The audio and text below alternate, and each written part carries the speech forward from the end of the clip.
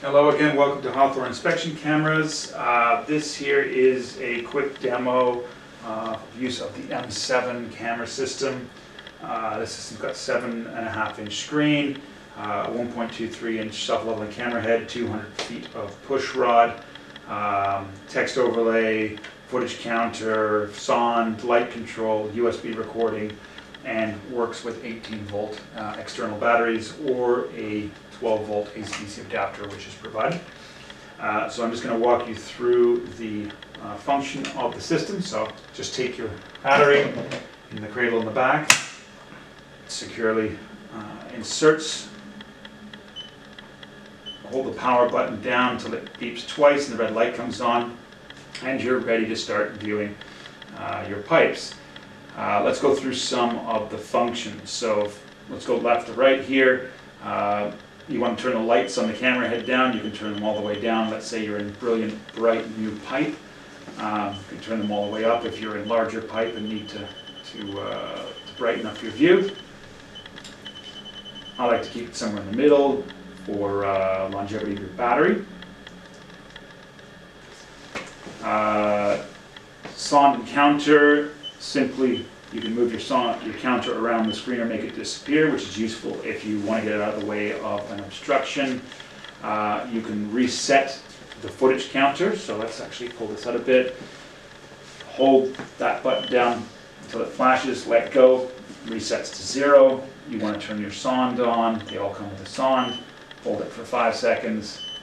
You note the little icon comes here, and you're emitting 512 hertz frequency. All right, so let's turn that sonde off. Five seconds, it will turn itself off. Uh, let's talk about some of the other features you got here. You got a USB recording. Um, start that up, press the record button. It'll power up the recording board in here. Uh, it's dormant until you've actually turned it on. It saves power um, until you actually really need it. So we'll fire that up now. Wait for that.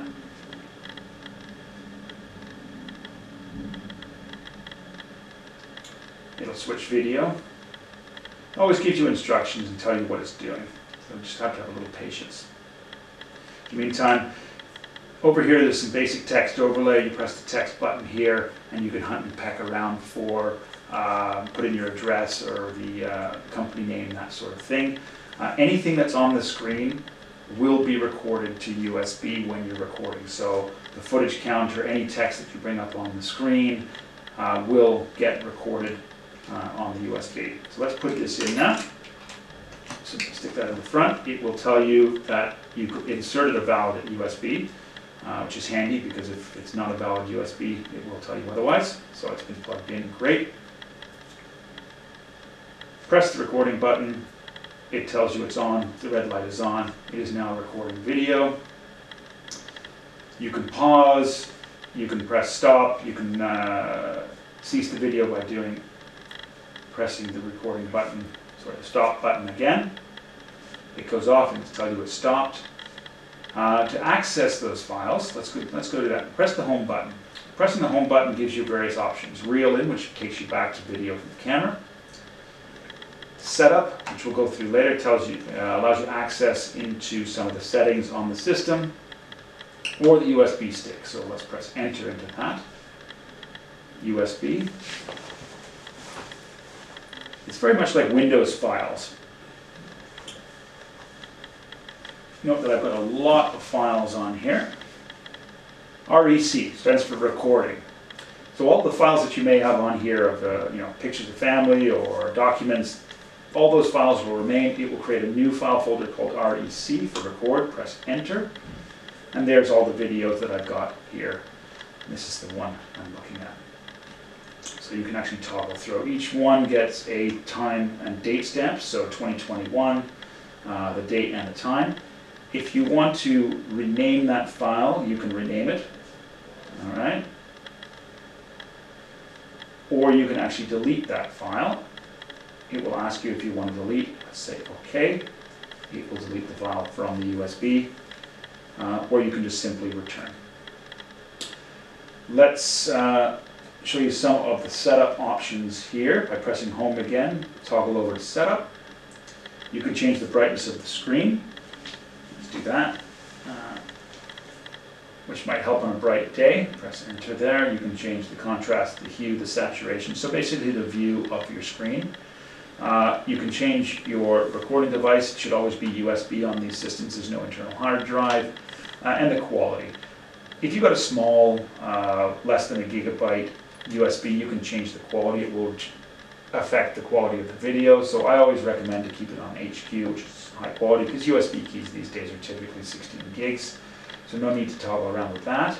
Um, and then there's your system here. So you can actually change the time uh, of on the system here, the time zone you're in, uh, and actually manually change the time if you've got daylight savings time, because that will affect the time and date stamp and maybe the videos.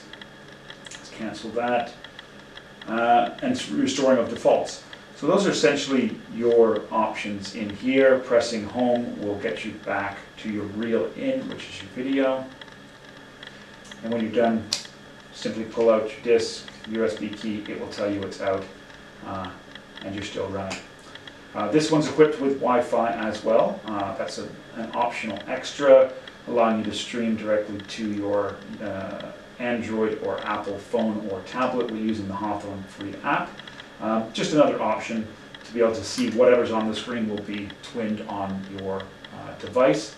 Um, And finally, to turn it off, just hold the power button down for a couple seconds, it'll turn itself off. Always recommend removing batteries from uh, any device that you have, uh, just to, to keep the life and make sure it's fully charged. This does not charge the battery while it's running. Uh, You have an option to run off AC/DC or the battery. There's no option to actually charge the battery when it's inserted. Um, But you'll get probably four hours, maybe more, on a single charge of battery, which is great for uh, you know, half a day's work in the field. Hopefully that's helpful. Uh, Don't hesitate to reach out to us at 1-866-Hathorn or at www.hathorncorp.com.